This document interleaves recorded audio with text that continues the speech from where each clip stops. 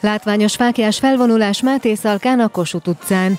Magyarországon 1888-ban először itt gyulladt ki az elektromos közvilágítás, New Yorkkal egy időben, Párizs után két évvel és a fővárost Budapestet öt évvel megelőzve. Ezt a jeles eseményt ünneplik a Szatmári városban minden év augusztusának utolsó hétvégéjén, a fényes napokon. Egy testvérpárnak köszönhető Schwarz Manónak és Schwarz Emanuelnek, hogy egy korszerű mezőgazdasági gyártelepük volt itt Mátészakán olajütővel, malommal, sőrehézdaldával, likőripari céggel, és kiutaztak a termékeikkel a Párizsi világkiállításra, ahol meglátták az újkornak a csodáját, egy svéd gyártmányú dinamót.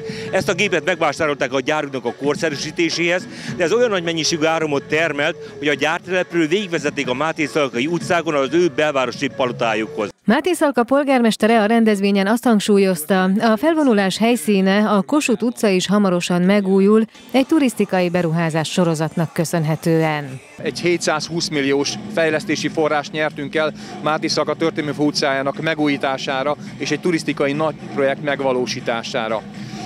Az egész arculata megváltozik ennek a városrésznek, építünk egy Tony Curtis kávéházat, amelyet a híres, világhírű színész relikviáival fogunk ellátni.